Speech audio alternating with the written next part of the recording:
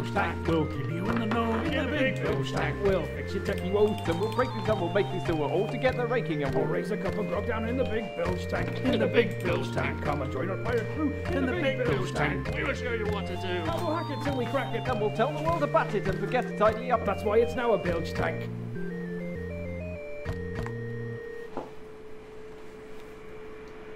Hello and welcome to episode 007 of the Bilge Tank from Sheffield on Sea.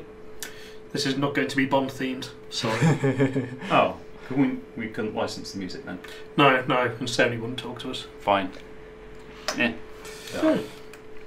Uh, so we're going to have a look at some new stuff. We've got something quite exciting today actually. Stuff we love. Uh, we have a. This is a prototype, right? It's not final This unit. is a very prototype, yeah. Uh, we have a Tingbot, which is uh, something we saw at Make Fair New Newcastle, Yep. um, and the guys were really cool. A very interesting uh, project, and I believe it's going on Kickstarter tomorrow. Uh, it's going Is on it? Monday, I believe. Oh, Monday, Monday. Tomorrow's Friday, then it's open. Hopefully going on Monday. So, oh, can we? Oh, we've got what are we? What are we looking at? We're looking at the website at the moment. Yeah, Yeah, let's have a brief that's how it's actually going to look. So this is it's kind of Show cool because you the get the the Raspberry Pi sits inside of here, and then they use a like a backpack screen, SPI screen. So Yep. it's very similar to a Pi TFT. Have they done their own board for that, or is it? Uh, I don't know. I think they may well have done their own board to drive the screen because I saw something very interesting at uh, Make Fair Newcastle, but I can't for the life of me remember what it is they've done. But it was definitely not an off-the-shelf part. Let's have a look at it. let's have a closer look. so all they've done is put it in a case, which is effectively two 3D printed end caps at the moment. This is a prototype. They just break out the um, I/O of the Pi, and then a kind of wrap around case around the outside, which gives it that sort of. Um, I suppose it looks like a, a bench appliance or an oscilloscope or something like that. It's got that kind of yeah, it does about it. it. it? This is this is like polypropylene sheet, isn't it? But it's Yeah. actually quite robust, Really more than you would think. It's it's pretty sturdy, uh, and I guess it lets them keep the cost down because you don't need a lot of complex injection uh, injection molding tools, which is kind of cool. So they've um, switched where the power supply is broken out to the back. So there's a little PCB that runs across the top here that's sort of clamped in by the two sides. Um, that has four buttons on it as well. So you've got your interface, which are of course nicely positioned so that you can hold it like this and you can use the buttons like you would a, a little handheld console. Uh, the screen's also touchscreen, although I haven't got a demo that will show you it running at the moment. So you can you can tap on menu items. Uh, like you would in this sort of appliance. Uh, this kind of reminds me of the the Chumby and what was it, the O2 Joggler and Yeah, the things of that nature. where it's uh, people putting together ambient computing platforms where you've kind of got something that just sits around your house and gives you a bit of information like the weather or your bus timetables, your tram timetables, or something meaningful like that. I kind of like it. I like it because it's so um, so straightforward. Really, it's got a nice vibe to it. I think the It thing has. that kind of bowled me over when we saw it at Newcastle was it just felt uh, it felt a bit more together because Mhm. we've seen no end of enclosures. Um, this felt a bit more like a complete thing. Uh, it felt like a nice solution. It felt like they'd done a good job, and they were nice people.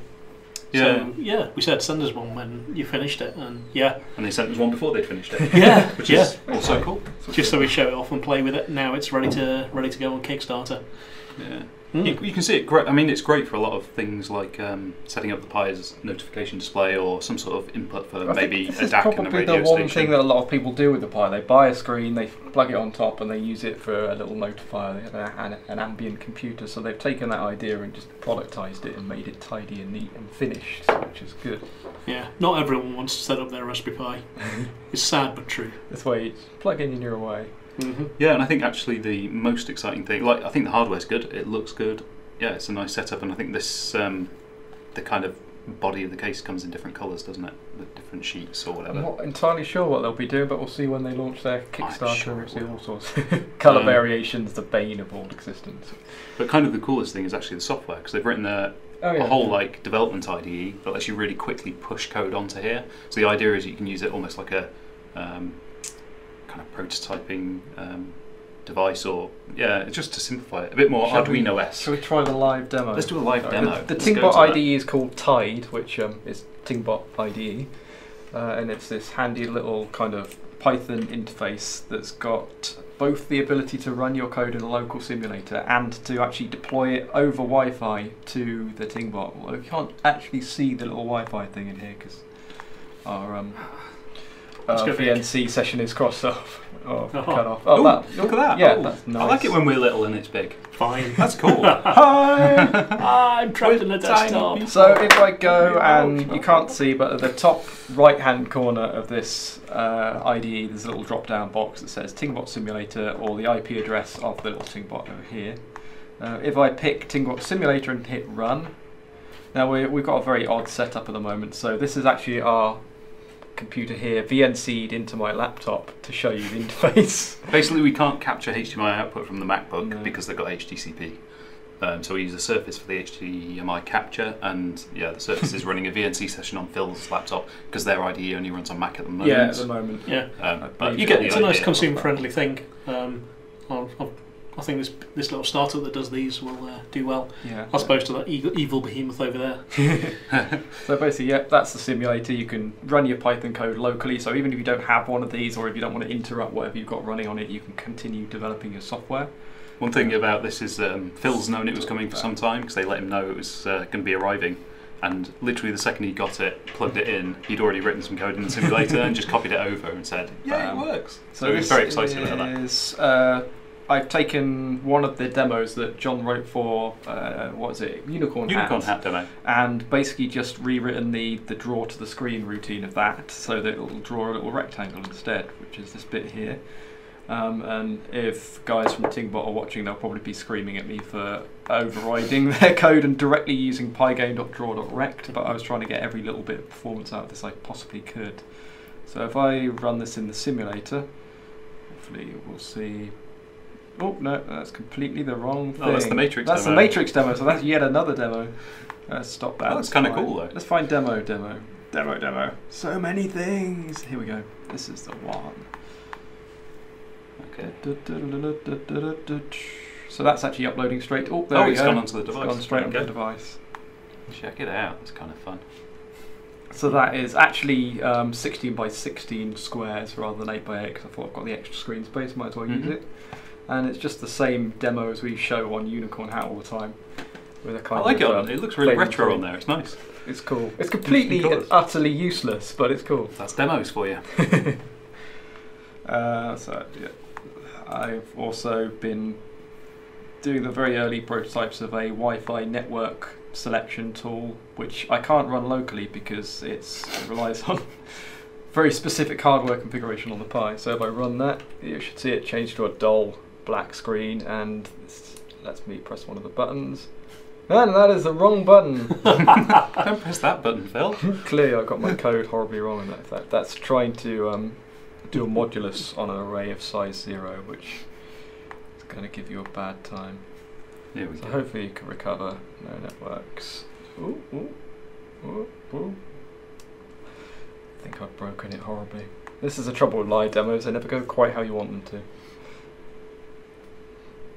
Please, can I see my networks? Network? No. No, well, it was it's brilliant. not happening. it's good while it lasted. Um, but yeah, in general, we think it's really cool. Um, yeah, good luck to them. We'll be backing Indeed. it. Excellent. Right. So, Oh, that's weird. ooh, What? did you just have us with us? Yeah. we did just yeah. have us with us. Um, Usception. yeah, I think I think this is going to be a great way for people to get into it. It's nice it uses Python for I the think the Pi just generally needs this kind of thing, this this platform where you can deploy software to it. You've got a standard framework and a standard API and a standard way of doing things. a standard API that you work around to get more performance. yes, a yeah, yeah, it's one of those. You know what I mean? There's, there's nothing really currently on the Pi that says if you want to write a game and you want to distribute it to everyone and you want it to work, then do it in this way. And, and here's a set of tutorials, and everyone can all contribute to this pool of software, and everyone will be able to run it. I like the fact they did the simulator as well because they didn't have to do that, right? That is pretty cool. And it lets you play around with it and get a feel for whether it'll do what you want it to do or, or just try it out without actually um, buying one. So, yeah, it's kind of awesome. Yeah. Cool I guys. think I bought it now. I'll turn it off and on again. Yeah, It always works. Okay. Uh, and the other thing we're going to have a look at today is something we saw on Hackaday, which is a pretty cool weather dashboard using the Pi Sense Hat. Um, so this is basically a system that integrates data from a service called Wunderground, which is a load of crowdsourced weather data, uh, merges that with the sensor data on your Sense Hat, and then um, you can use that to pop, uh, populate a dashboard powered by a service called In- Initial State Yeah. um, which is it's kind of cool. It's uh, yeah, it's a nice little project. We've put a link in the YouTube video description, um, so check this out. Especially if you've got a sense hat, it's kind of a, an interesting thing to do with it. Phil set up this dashboard earlier today, so it doesn't have a huge amount of Yeah, it hasn't quite been yet, running long enough to not just look alarming. There's like slight changes in pressure, and it, it just goes the whole range of the graph. and it's like, Precipitous "Ah, temperature drop. explosive decompression. Um, but no, it's, it's cool. And the dashboard, yeah, everyone likes a dashboard. Yep. Data, data's awesome. Um, so yeah, it's it's an interesting idea and really easy to set up as well. So good starter project. We like it. Yep. So code on GitHub. Sense Hat available from the shop. Yep, or, or the swag store. Yep. Um, yeah, Raspberry Pi Sense hat. Um, loads of great features on that. I think we featured it in a in Bilge Tank version, uh, episode zero, maybe. Zero or one. We talked No, about. zero, oh, no, zero the episode. Yeah. it was episode zero, wasn't it? Was it? One.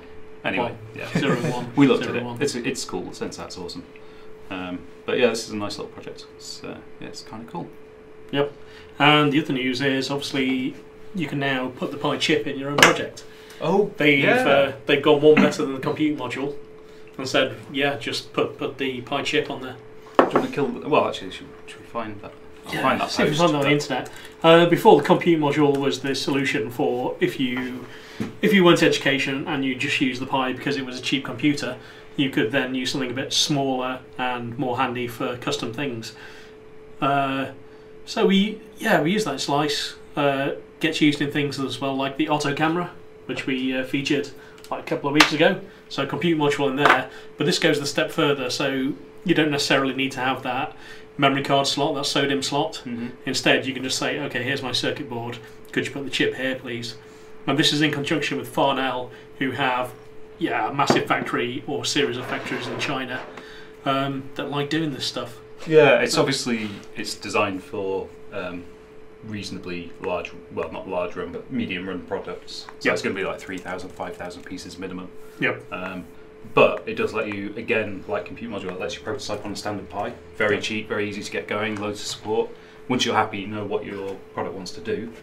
That's when you can start thinking about how you integrate that all into a single system, single board. Um, and I think part of the the whole um, uh, setup is that Embest Farnell will will help you develop the board and um, develop the board as well if you want to. Yeah. Obviously, costs involved, but And they were Yeah, they were really good um, at best. Hmm. Total pro circuit manufacturing. yeah, they Obviously, did great job on the slice boards. Yeah. They look great. So.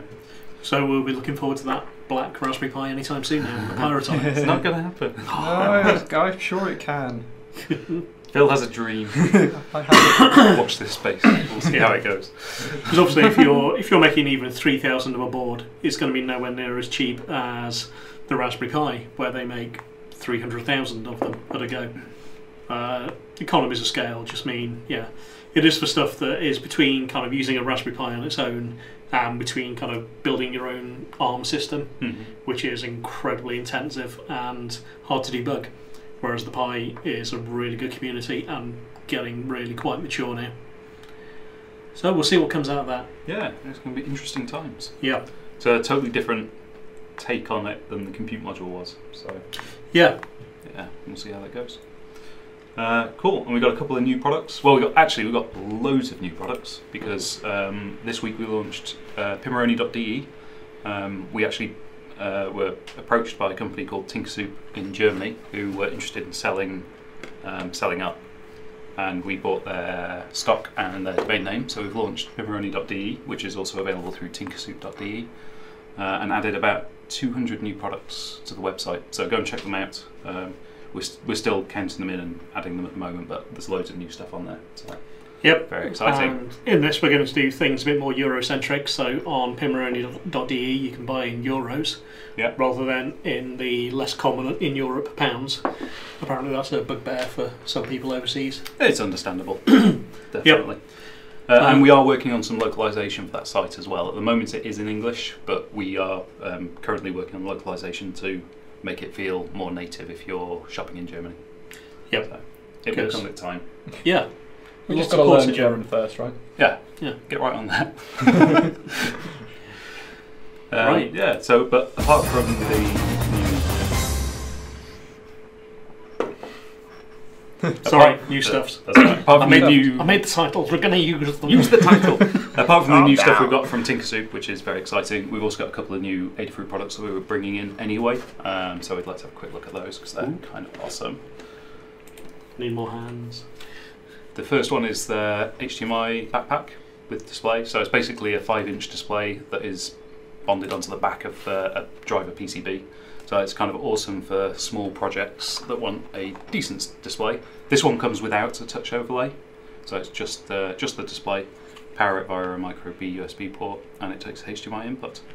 Um, probably the only caveat with this one is that it doesn't support HDCP, um, so it's no good with your Mac. So 800 by 480 as well, which makes Yeah. it the same resolution as a 7-inch play screen. Yeah, it's exactly the same as as that. Yep. But these kind of things are just great because they're mountable. You know, they're low power requirement. They're just easy to set up. So if you just want something like it, you know, your Halloween costume or whatever, you want nice little display embedded in there. It, it takes all of the difficulty. you could have kind of like a beating heart or open ribs or some stuff like that. Yeah. Yeah, and just Absolutely. Or a picture of Donald Trump. Yeah, just trying Yeah. to crawl out as a small baby Trump. Yeah. Yeah, Um, but yeah, it's uh, and then you could have some servos like kicking under the. Uh... Yeah. Anyway, it's yeah. a- yeah. It's a cool Next week, Halloween display. costumes. Hmm. Yeah, we'll It'll be too late, but We'll think Yeah. so. Uh, yeah, and it's got PWMable backlight as well. So that's kind of cool. And the other thing we've got is the new Fona European version. So this is basically a 3G um, GSM. Uh, is it GSM? Yeah, 3G module. Yep. Um, that lets you do uh, data and text and yeah. if you want to add, yeah, cellular cellular data, mobile data, or mobile mobile phone stuff to your project, then Fona's Ad- Adafruit's good way of doing this. Yeah, they've got a big range of these, haven't they? But um, we Mm. picked this one obviously because it's European and Yeah. it's uh, 3G, so that's kind of awesome. As always, you can see all the specs on the website, get an idea of how to use it, and some nice photos, and the links down below the video. Yeah, I forgot this also got a headphone mic jack on here, so you can Yeah. actually make calls through this uh, as well. I mean, we're mostly interested in using it for data, but yeah, being able to do calls through it is kind of awesome as well. You need to find a SIM card for this as well, isn't it? What SIM card does it take? Looks like a full size one. Yeah, it looks full size to me. Yeah.